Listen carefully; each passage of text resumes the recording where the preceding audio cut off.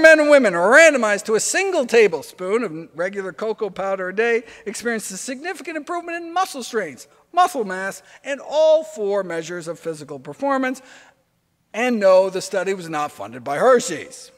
Unfortunately, the tastiest cocoa did not work as well. The control groups here were just given the same amount of highly Dutched cocoa, alkalized cocoa, where some of the bitter compounds removed during the Dutching process are the very flavonoids uh, responsible for the benefits.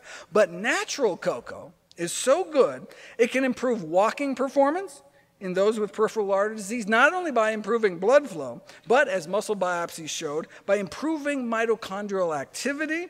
This is consistent with improved mitochondrial structure as well in biopsies taken from people's quads, though this study was um, actually uh, funded by Hershey's.